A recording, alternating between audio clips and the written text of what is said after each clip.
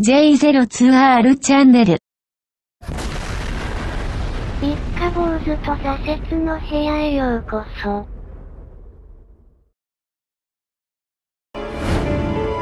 In 1988, another anonymous government source, codenamed Falcon, claimed that a second extraterrestrial biological entity, EBE 2, voluntarily became a guest of our government, allowing himself to be examined and interviewed.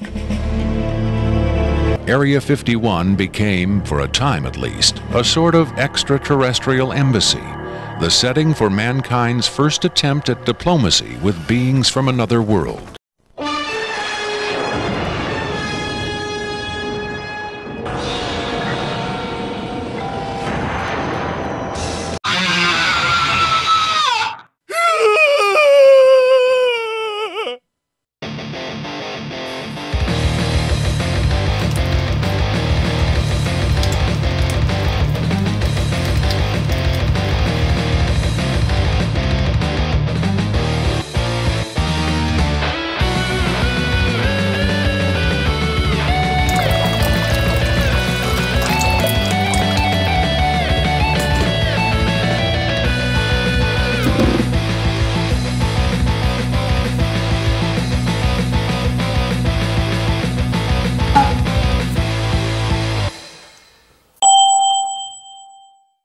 本物と思われて、合衆国から狙われると大変なので種明かしです。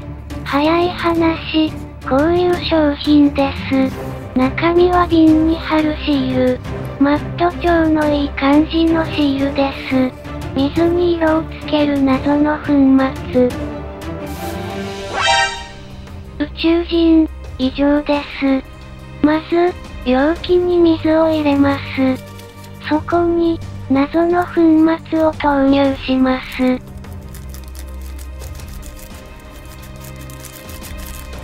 よくかき混ぜましょう。宇宙人を入れて、蓋を閉めます。シールを貼って完成です。こんな感じで、本物のように仕上がります。部屋のインテリアにもってこいです。放射線注意の張り紙があるので一応測定してみます。